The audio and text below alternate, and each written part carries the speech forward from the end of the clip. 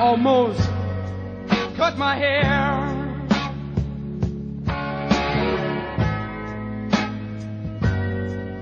It happened just the other day.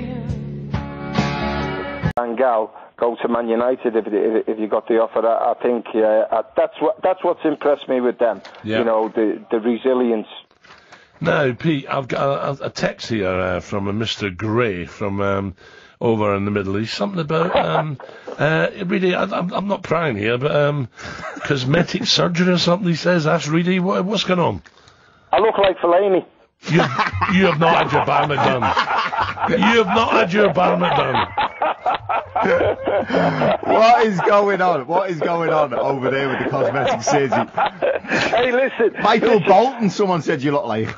Who? Michael Bolton, that singer. No, with the dead uh, long hair. Pablo Picasso.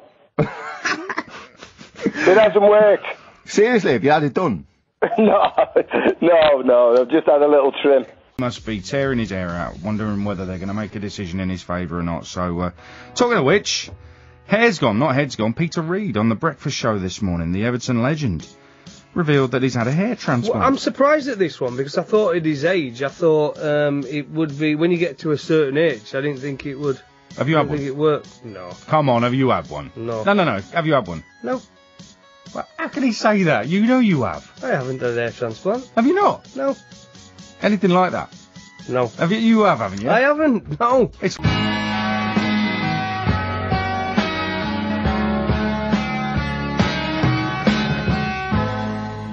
Almost cut my hair.